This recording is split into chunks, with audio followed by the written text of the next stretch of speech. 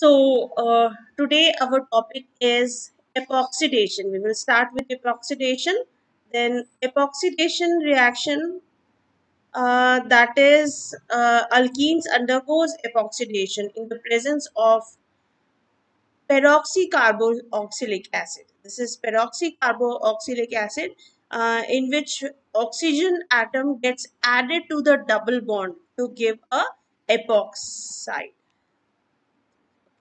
So this is a epoxide that means one oxygen is added to two carbons forming a triangular shape, uh, triangular structure. This is a uh, epoxide structure that means two carbon, a chain having two carbon and one oxygen. So this is a epoxide which is formed by using peroxide in the presence of carboxylic acid. Okay so this is a reaction of ethylene. Uh, this is also given by uh, reaction when we use uh, Ag, uh, when we heat the uh, oxygen, when we oxidize this uh, molecule in the presence of silver catalyst. We use silver molecule as a catalyst, a silver powder or silver as a, a silver metal as a catalyst and we oxidize it uh, and we heat it this also forms a epoxide molecules which is also called as ethylene oxide. Okay? So ethylene oxide is also formed by this reaction. Then this uh, next one is ozonolysis. Now uh, you know what is mean by ozone? Ozone is nothing but o3 this o3 is ozone. So when we add this ozone to this ethylene or any of the alkene then it gives a compound like this. That is ozonide this is called as ozonide compound. That means ozone molecule. Three oxygens are added to this molecule forming a chain forming a ring having two carbons and three oxygen. Ye jo ring hota hai this is called as ozonide and this undergo this is a very unstable uh, molecule. It uh, undergoes arrangement to forms a molecule like this okay that means this oxygen goes to this uh, two carbon and this two carbon two oxygen goes to at one place so one oxygen um, ये जो एक oxygen होता है ये यहाँ पे चला जाता है forming another double bond with the carbons okay so again this is also a unstable compound this compound undergo again uh, uh, when we add some uh, zinc and water and we boil this it gives a reduction reaction and this re uh, reduction reaction this forms a formaldehyde this formaldehyde बन जाता है जब हम इसको reduce करते हैं okay so this gives a reduction reaction similarly we can see in the case of propylene when we add this ozone to the propylene this gives this type of reaction. That means two oxygen this ozone gets added to this double bond. In this place of double bond this ozone gets added. That means one oxygen at one side and two oxygen at another side to form a ring compound. And then it undergoes reduction to form a acetaldehyde or formaldehyde. So this is the mixture of compound that is acetaldehyde and formaldehyde is formed in this reaction. Okay, that means ये जो होता है ये यहाँ से separate out हो जाता है. Okay, ये जो double bond है this gets broken down. ये एक कार्बन अलग हो जाता है ये दोनों कार्बन अलग हो जाते हैं और यहाँ पे क्या हो रहा था ये दोनों कार्बन दैट मीन सिमिलरली यहाँ से ब्रेक डाउन हो जाता है और ये एल्डिहाइड फॉर्म करता है ये एक एल्डिहाइड फॉर्म करता है और ये दूसरा एल्डिहाइड फॉर्म करता है वैसे ही जहाँ पे भी डबल बॉन्ड होता है डबल बॉन्ड के दोनों साइड का जो पोर्शन होता है, ये एक एल्डिहाइड फॉर्म करता है और ये दूसरा एल्डिहाइड फॉर्म करता है okay so this is forming acid and this is forming formal okay so this is a two step process which involves the formation of ozonide. This is a ozonide molecule and it decomposes to form a carbonyl compound. Orders ozonolysis ठीक है? इसको हम बोलते हैं ozonolysis next come to polymerization now this polymerization reaction is very important in point of view of industrial purpose because अल्किस are usually use for polymerization जो हम देखते हैं प्लास्टिक्स पॉलीथीन्स के जो मटेरियल होते हैं, हम बोलते हैं ना पॉलीमर का बना हुआ है। तो so what is mean by these polymer polymer means nothing but addition of these अल्किस in chain so this molecules get added to another molecule like this alkene gets added to another alkene फिर वो alkyne इसमें add होते जाता है। तो ये जो सारे अल्कीन्स होते हैं, ये चेन में ऐड होता है। जैसे एक मॉलिक्यूल ऐड होता है दूसरे के साथ, फिर ये ऐसे। इस तरीके से ये लॉन्ग चेन बनती जाती है, ठीक है? ये जो लॉन्ग चेन बन जाती है, इसको हम बोलते हैं पॉलीमर ठीक है? ये इन्फेनाइट चेन होती है। ये जितने भी नंबर ऑफ़ ये है, जैसे हमने देखा ये वन टू थ्री फोर तो ये कितने नंबर ऑफ़ जो भी मॉलिक्यूल्स है वो अटैच होते हैं that is counted as n तो ये एन होता है। So this is ethylene ethyne molecule gets attach अब ये वाला कार्बन जब हम दूसरा मॉलिक्यूल अटैच करेंगे तो ये फ़र्स्ट कार्बन है, ये सेकेंड कार्बन है। So first carbon will first carbon of another molecule will attach to this second carbon then इस तरीके से ये चेन बनती जाती है, और ये अगर हम देखते हैं so this is a propylene and this again form a chain like this so this chain continuous formation होता है इसका and this polypropene is formed which is also uses polymer and this is a polythene molecule you must have seen polythene polythene हम बोलते हैं ना polythene bag तो ये होता है polythene okay? इसका जो पॉलीमर होता है इसको हम जो पॉलीमराइज करते हैं this is been heated at a certain pressure so this is this जो सिंगल मॉलिक्यूल है इसको हम बोलते हैं मोनोमर ठीक है? That means this is a single molecule और जब वो चेन uh, में हो जाता है तो उसको हम पॉलीमर बोलते हैं। पॉली मतलब many and mer means these are attach with many molecule so this is called is polymer okay so these polythenes and polypropylenes are formed by this reaction then this is allylic substitution allylic substitution means this allyl group is substituted that means uh, this chlorine is attached with this. Okay so this is called as allylic uh, this allylic chloride is being formed by this reaction. So substitution reaction of alene at the carbon next to double bond जो भी carbon next to double bond होता है that is known as allylic substitution okay इसका जो substitution होता है that means one of the hydrogen from here gets substituted by chlorine one of the hydrogen gets exchange with the chlorine and this hydrogen is attached with another chlorine we have two chlorine uh, atom over here तो एक chlorine atom जो है वो यहाँ hydrogen के बदले चले जाता है और जो हाइड्रोजन बाहर निकलता है वो इस क्लोरीन के साथ अटैच हो जाता है या जो भी मॉलिक्यूल यहाँ पे जो भी सब्सटीट्यूशन है उसके साथ अटैच हो जाता है it forms acid like HCl. Okay, so this type of reaction is called as allylic substitution reaction. Then uh, let us see the mechanism of this. Uh, so when it is being radiated by ultraviolet light, this chlorine gets uh, chlorine converts into free radical form ये जो chlorine molecule है ये molecule के बीच का जो bond होता है वो ब्रेक डाउन हो जाता है and it gets convert into this radical chlorine free radicals form कर लेते हैं and this chlorine free radicals get attach to this propylene molecule and this propylene molecule in this propylene molecule this is eliminated this is uh, this one hydrogen is eliminated and it attaches from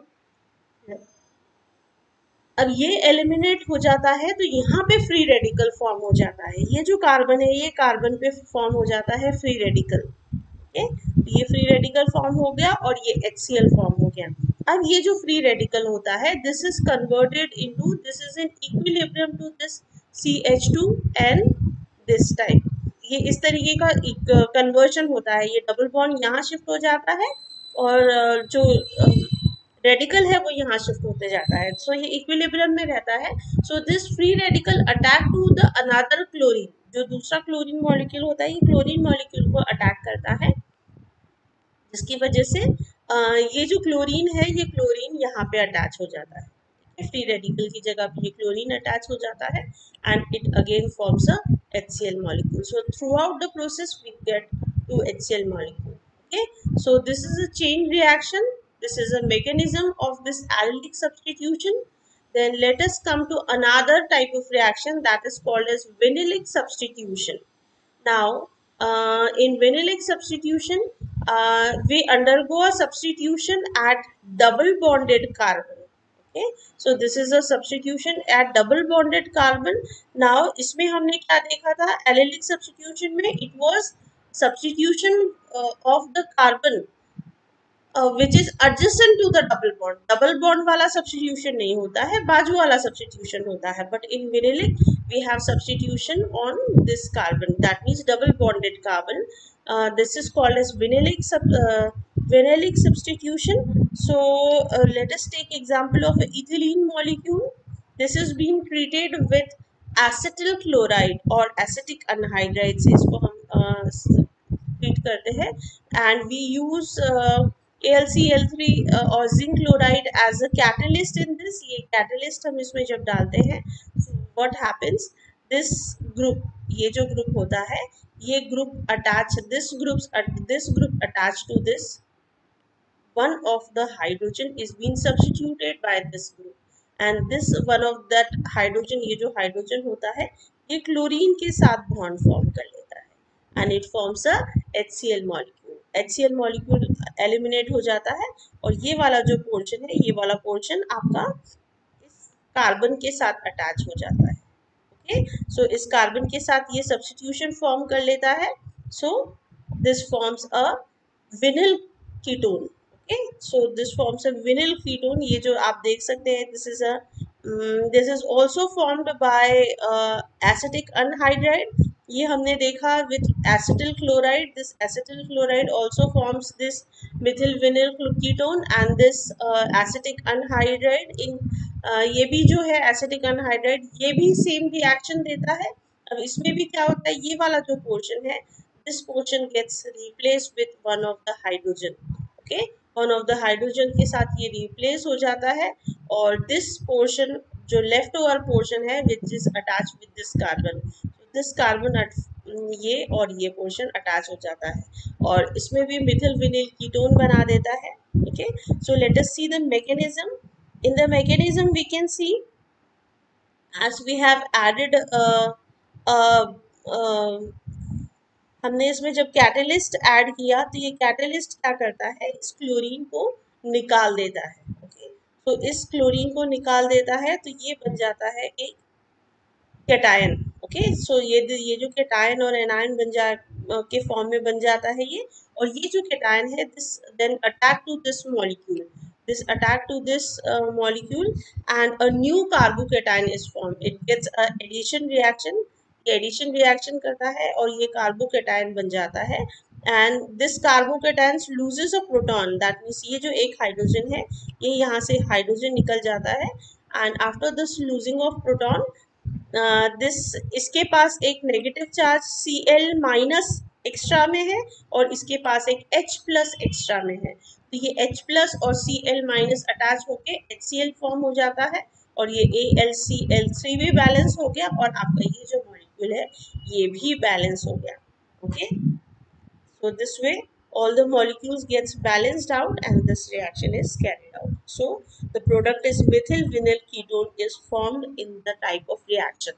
And this reaction, this substitution reaction is called as vinylic substitution क्योंकि ये double bond में हो रहा है ठीक है क्योंकि ये double bond में हो रहा है इसलिए हम इसको vinylic substitution बोलते हैं so uh, we have seen many type of reactions uh, like uh, hydro halogenation, hydrogenation reaction, then dihydrogenation reaction, acid catalyst hydrogenation, uh, halohydrogenation reaction. We have seen some of the type of reaction in this. So there are many type of reaction which can be carried out by uh, this alkene molecule. Okay. So uh, let us come to the next topic that is Markovnikov's rule law.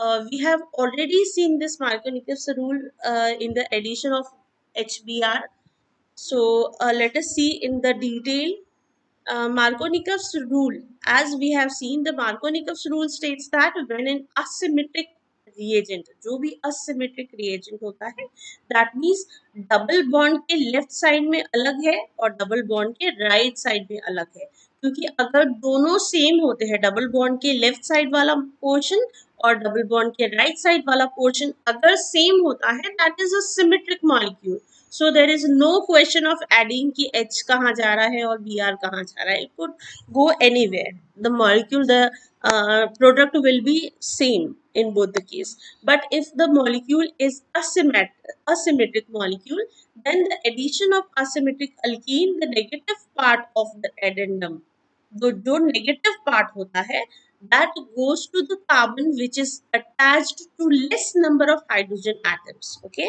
जो less number of hydrogen atom से attach होते हैं उसकी तरफ़ जाता है।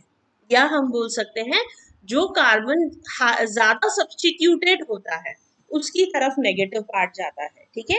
ज़्यादा या, या तो दोनों क्वेश्चन दोनों चीज़ें बोल सकते हैं हाईली सब्सटीट्यूटेड हाईली सब्सटीट्यूटेड होगा तो हाइड्रोजन कम होंगे। और कम सब्सटीट्यूटेड होगा तो हाइड्रोजन ज़्यादा होंगे। तो हम दोनों भी बोल सकते हैं। It can goes to the portion which is highly substituted और may be which as which is having less hydrogen ठीक है? जिसमें हाइड्रोजन कम है, वहाँ पे नेगेटिव पार्ट जाता है। और जो बचा हुआ पोर्शन है, जो बचा हुआ पॉजिटिव पोर्शन है, वो जाता है जहाँ पे ज़्यादा हाइड्रोजन है, ठीक है? तो ये ज़्यादा हाइड्रोजन वाले पोर्शन पे ये हाइड्रोजन चला जाता है। तो इस तरीके का ये सब्सिट्यूशन होता है।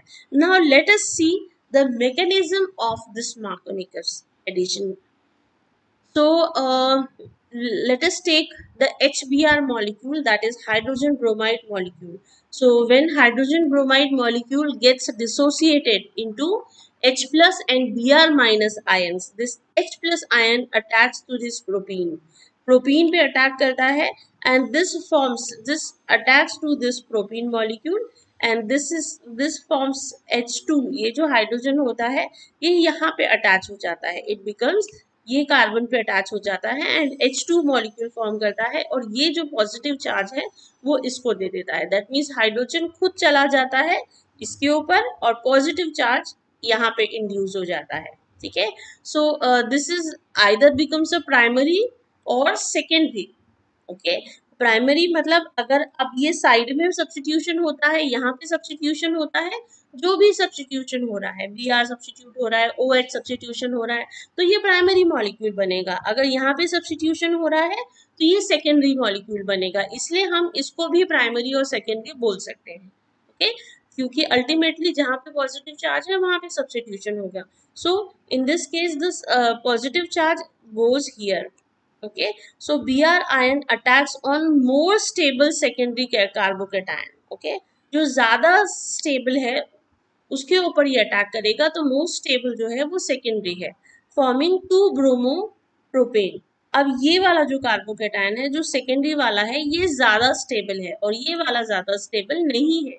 तो ये प्राइमरी बहुत कम क्वांटिटी में होता है मैक्सिमम मॉलिक्यूल जो होता है, वो सेकेंडरी होता है।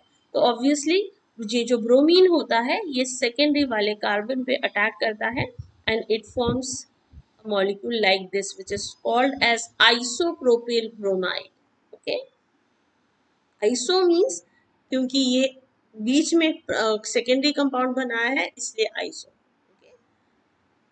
so this is Markovnikov addition let us see peroxide effect और करचेफ इफ़ेक्ट अब ये पेरोक्साइड इफ़ेक्ट क्या होता है? Uh, is again a case of unsymmetric alkene अब मुझे कोई कंपाउंड बनाना है। मुझे अगर एच बी आर इस प्रोटीन को ऐड करना है पर मुझे मार्कोनिकव्स लॉ नहीं चाहिए। अगर मार्कोनिकस लॉ फॉलो करेंगे अगर मॉलिक्यूल को नॉर्मल कंडीशन पे अगर मैं सिंथेसाइज करूँगी तो ऑब्वियसली जो बी आर है ब्रोमीन है वो ब्रोमीन कहाँ जाएगा? ये ब्रोमीन जाएगा हाईली सब्सटीट्यूटेड पे, या तो आप बोल सकते हो कि जहाँ पे लीस्ट नंबर ऑफ़ हाइड्रोजन है, वहाँ पे ब्रोमीन जाएगा और हाइड्रोजन जाएगा इसके ऊपर बट मुझे ऐसा नहीं चाहिए, मुझे इसका उल्टा चाहिए, ठीक है? मुझे ब्रोमीन जो है, वो साइड में चाहिए दैट मीन्स मुझे प्राइमरी कंपाउंड चाहिए, ठीक है? मुझे प्राइमरी कंपाउंड चाहिए तो मैंने क्या करना है, मुझे मार्कोनिकस रूल जो है वो फॉलो नहीं करना है। अगर मुझे मार्कोनिकस रूल फॉलो करके नहीं बनाना है तो मैंने उसको एंटी मार्कोनिकस लॉ के हिसाब से मैं क्या करूँगी उसमें पेरोक्साइड इफ़ेक्ट डालूँगी। अगर ये पेरोक्साइड इफ़ेक्ट डालते हैं हम आ, कोई भी अगर हम इसमें पेरोक्साइड डालते हैं तो ये anti Markovnikov law rule follow करता है। दैट मीन्स मार्कोनिकस लॉ से उल्टा हो जाता है। okay so uh, this effect is called as either peroxide effect or Batcheff's effect so ये जो reaction है this is an unsymmetric alkenes like propene is created with hydrogen bromide in the presence of peroxides like a benzoyl peroxide so it gives a addition that is it is a addition which is anti-Markovnikov's addition okay and it will give two bromopropene instead of sorry it gives one bromopropane instead of two bromopropane Markovnikov's के according हमको two bromopropane मिलता था but if we added peroxide to this benzoyl peroxide अगर हमने डाल दिया reaction में तो हमको जो प्रोडक्ट है वो ऑपोजिट मिलेगा. दैट मीन्स एंटी ये मिलेगा हमको. एंटी मार्कोनिकव्स प्रोडक्ट मिलेगा. देन देन इन केस इस केस में क्या हो जाएगा? ब्रोमीन कहाँ जाएगा? Bromine will go to the carbon which is having high number of hydrogen and hydrogen goes to the another carbon that means अब हमारा जो पोजीशन है वो जो मार्कोनिकल लॉ का पोजीशन है वो रिवर्स हो गया। That means bromine goes to highest substituted that means highest hydrogen वाले पे चले गया और हाइड्रोजन जो है, वो लोएस्ट हाइड्रोजन वाले पे आ गया। So this product is one bromopropene which is according to anti Markovnikov so let us see the mechanism of this anti Markovnikov this is again a fact कि एंटी मार्कोनिक लॉ जो होता है this is only given peroxide effect is only given by H B R this is a point to remember आप लोगों को याद रखना चाहिए, क्योंकि शॉर्ट क्वेश्चन में इस तरीके का पूछा जा सकता है। Why this is applied only on H B R not on H C L and H I अब ये जो एच सी एल होता है because the cleavage of H C L is not energetically favoured जो H C L का जो cleavage होता है, वो एनर्जेटिक एनर्जेटिकली फेवर्ड नहीं होता है। और जो आयोडीन होता है एच आई एच आई जब क्लीवेज होता है तो एच आई मॉलिक्यूल से आई टू मॉलिक्यूल ज़्यादा स्ट्रॉन्ग होता है। तो जैसे ही एच आई मॉलिक्यूल टूटता है, वो तुरंत ही आई टू मॉलिक्यूल बना लेता है। तो आयोडीन चला जाता है। मतलब आयोडीन जो रहता है, वो रेडिकल के फॉर्म में नहीं रहता है, वो मॉलिक्यूल के फॉर्म में कन्वर्ट हो जाता है। इसलिए वो ये रूल नहीं देता है। ठीक है?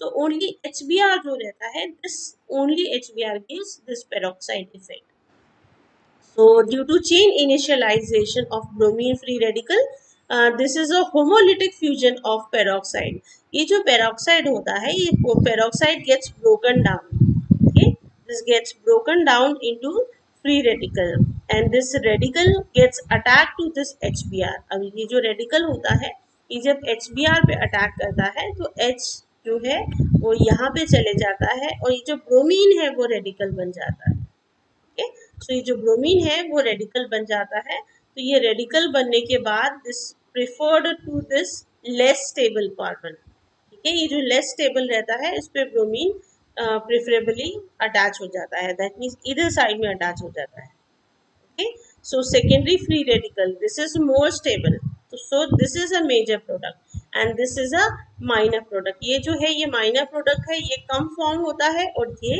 ज़्यादा फॉर्म होता है। So this is a most stable and H B R gets attach to here so H B R में से एक हाइड्रोजन निकल गया और ये हाइड्रोजन यहाँ पे चला गया। Okay okay? और ये जो ब्रोमीन बचा अगेन ये ब्रोमीन बन गया। फ्री रेडिकल अब ये फिर से जो ब्रोमीन है, वो या तो ब्रोमीन ब्रोमीन के दो रेडिकल मिलके बी आर टू बना लेंगे, या तो फिर ये वापस दूसरे मॉलिक्यूल के पास जाके सेम रिएक्शन परफॉर्म करेगा। So this is also a chain reaction और you can say this is a chain termination reaction chain termination reaction मतलब ये जो चेन है, ये टर्मिनेट हो जाएगी। अब ये जो ब्रोमीन है, ये ब्रोमीन ब्रोमीन मिलके बी आर टू बन गया तो ये चेन रिएक्शन स्टॉप हो जाएगी। Okay so next is ionic mechanism of addition of bromine to ethylene okay तो आयोनिक मैकेनिज्म अगर हम देखेंगे so this is bromine gets added to this ethylene molecule to forms a 1,2 dibromoethane. So let us see the uh, mechanism of this. So bromine molecule is polarized by alkenes and this compound is formed. So uh, you can say this is having one pi bond and one sigma bond. तो जैसे ये bromine molecule होता है bromine molecule जब polarised हो जाता है तो it gets attach to this दोनों के uh, पास में आके ये अटैच हो जाता है it forms a molecule like this. Okay. This is a cyclic bromonium ion is formed and uh, the radical gas uh, two uh, ये जो ब्रोमीन है ये टू इलेक्ट्रॉन्स को लेके निकल जाता है रेडिकल बन जाता है। And this cyclic bromonium ion ये जो साइक्लिक ब्रोमोनियम आयन है, this is, this bonds gets broken down and this converts into a carbonium ion. So this carbonium ion, अब ये जो है, ये पॉजिटिव हो गया तो ऑब्वियसली ये जो ब्रोमीन है, जो हाईली नेगेटिव चार्ज है, अब ये वाला इसके ऊपर अटैक करेगा। ये वाला इसके ऊपर अटैक करेगा तो ये ब्रोमीन यहाँ पे अटैच हो जाएगा in different forms that means fourth step में क्या होता है? ये जो ब्रोमीन है जो आयोनाइज um, होके पहले इसमें अटैक करता है एक रिंग कंपाउंड बनाता है और फिर वो रिंग कंपाउंड में से दूसरा ब्रोमीन बाहर निकल जाता है और फिर ये जब कार्बोकेटाइन बनता है तो ये कार्बोकेटाइन में ये दूसरा ब्रोमीन ऐड हो जाता है। इसके कारण it forms a two bromine compound that is one two dibromoethane so one two dibromethane is formed in this now let us see some of the industrial applications of this compound uh, so let us see ethylene as we have seen ethylene का हमने जब polymerisation reaction देखा था तो we have seen it forms a polymer okay so polymer बनता है तो obviously it forms a polythene bags ये जो पॉलीथीन बैग्स है these are formed by this polythene this are this is called is polythene मतलब polyethene ethene molecule को ही polymer बनाते हैं तो ये प्लास्टिक बन जाता है. Okay this is also use for commercially use for ripening artificial ripening of this fruits ये जो फ्रूट्स होते हैं इसको आर्टिफिशियली पकाने के लिए जो हम बोलते हैं ना कि केमिकल्स में पकाए हुए फ्रूट्स होते हैं तो आर्टिफिशियली उसको पकाने के लिए भी इस इथिलीन को यूज़ किया जाता है। Then it is also formed in the formation of brewerages that is alcoholic products. जो अल्कोहलिक uh, ब्रीवेजेस होते हैं इसको भी मैन्युफैक्चर करने के लिए this ethylene is use this is also use for preparation of this PVC pipe जिसको हम ये पीवीसी पाइप आपने देखा होगा आपके घर में जो नल फिटिंग वगैरह होती है इलेक्ट्रिक uh, फिटिंग में लगते हैं तो ये जो पीवीसी पाइप होते हैं this is called as polyvinyl chloride this is a polyvinyl chloride this is also formed by ethylene molecules okay? And then uh, this is a type of uh, again a pvc that is uh, ये जो rolls होते हैं uh, ये भी pvc के ही होते हैं। So this ethylene ethylene epoxidation give ethylene oxide ठीक है? ये जो इथिलीन ऑक्साइड होता है this is preferably use for preparation of glycols ठीक है? ग्लाइकॉल्स के प्रिपरेशन के लिए ये यूज़ होता है। So these are all the uses of ethylene now let us come to the use of propylene again this propylene forms a polymeric compound अब ये जो polymer बनाता है that is called as polypropylene ये जो polymer बनाता है polymer of propylene is called as polypropylene this has a, a very uh, useful compound so it uses for making of ropes जो रस्सी बनती है आपकी पॉलीमर की रस्सी मिलती है ना आजकल ये जो रस्सी होती है this is called as making ropes then seat covers बनते हैं इसके then this is manufacturing of floor tiles ये जो फ्लोर टाइल्स होती है जो आप देखोगे कि uh, कई बार जो बच्चों के गार्डन्स होते हैं जहाँ पे झूले वगैरह होते हैं तो वहाँ पे एक सॉफ्ट तरीके के फ्लोर आपको देखने को मिलेगा। या तो प्लेग्राउंड जो होता है कुछ कुछ जो इंडोर प्लेग्राउंड्स होते हैं, वहाँ पे ये टाइल्स लगाई जाती है। पॉलीप्रोपिलीन की टाइल्स लगाई जाती है और इससे फ्लोर बनता है ताकि अगर आप इसके ऊपर गिरते भी हैं तो आपको चोट नहीं लगती है विच इज़ वेरी सॉफ्ट ठीक है? सॉफ्ट टाइल्स होती है जिसमें आपको गिरने पे चोट नहीं लगती है।